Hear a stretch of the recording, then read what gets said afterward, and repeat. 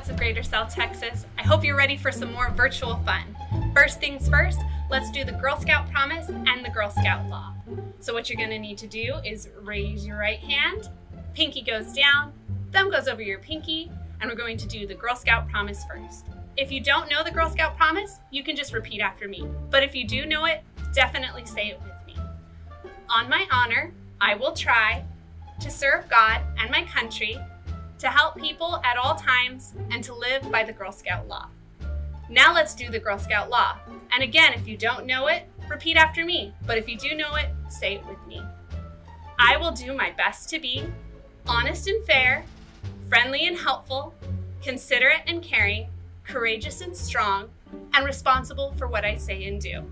And to respect myself and others, respect authority, use resources wisely, make the world a better place, and be a sister to every Girl Scout. This week's focus is going to be investigation. Special agents have many hats that they wear. Detectives, scientists, enforcers of the law. I'm sure you've read books or watched TV shows or even movies about special agents solving crimes and mysteries and getting justice.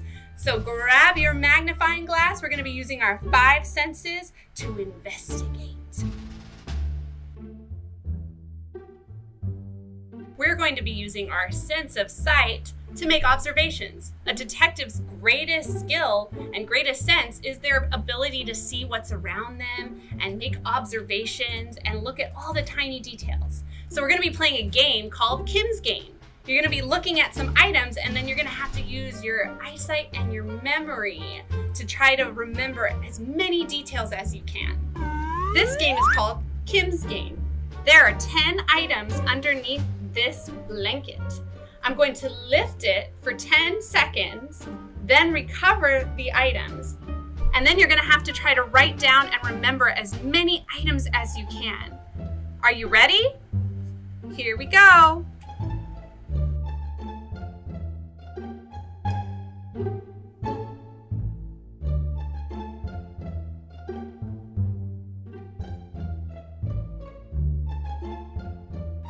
Time's up.